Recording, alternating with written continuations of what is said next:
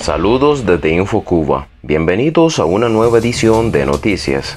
El reggaetonero Yomil achacó los incidentes violentos y la represión policial ocurrida durante su concierto el pasado sábado en Pinal del Río al carácter caliente de los cubanos. En dos historias publicadas en su perfil oficial de Instagram, el cantante restó importancia a las riñas tumultuarias ferozmente reprimidas por la policía, que provocaron una estampida y obligaron a detener momentáneamente su concierto poco después que hubiera empezado.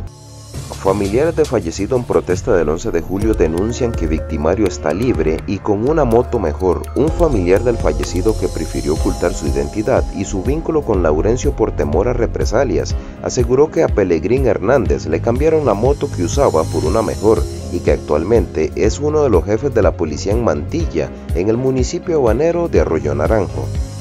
Opositores Berta Soler y Ángel Moya, dos arrestos arbitrarios de más de 24 horas en la última semana. La seguridad del Estado mantiene un acoso constante sobre la pareja de opositores que han visto cómo es violada en dos ocasiones durante la última semana su libertad de movimiento. El concierto del reggaetonero Yomil el pasado sábado en Pinal del Río tuvo que detenerse momentáneamente tras la primera canción a consecuencia de múltiples incidentes violentos que fueron reprimidos con fuerza por la policía y provocaron una estampida masiva del público. Videos compartidos en redes sociales dan cuenta de lo ocurrido. En las imágenes se observan riñas entre los asistentes que provocaron la estampida del público y una respuesta policial violenta, con golpes y presencia de perros adiestrados contra disturbios.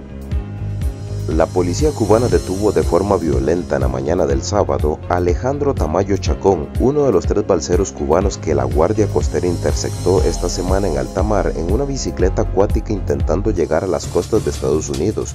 Fuertes imágenes difundidas en redes sociales muestran cómo dos mujeres de la familia intentaron evitar a toda costa el arresto del joven de 23 años.